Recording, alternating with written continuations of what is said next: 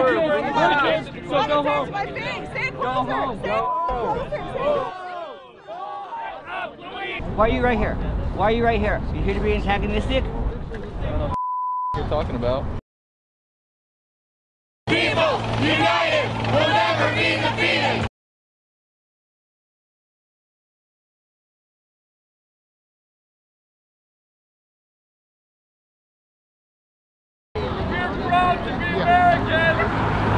No justice, no peace, no Nazis in our streets. You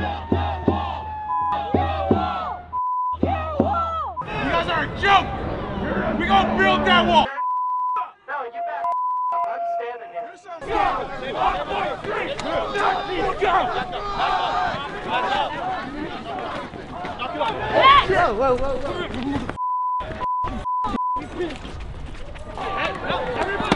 Get off there!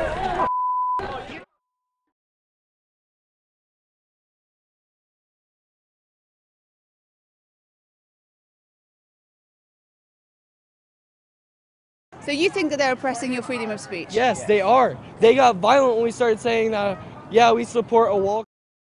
These are just comrades who are putting up all of these so that everyone in the neighborhood who interacts with him on a daily basis is aware of what he does.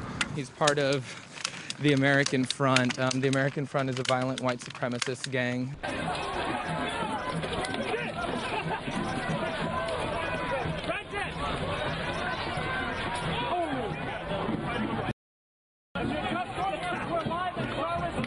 What about the alt left that came charging at the, as you say, the alt right?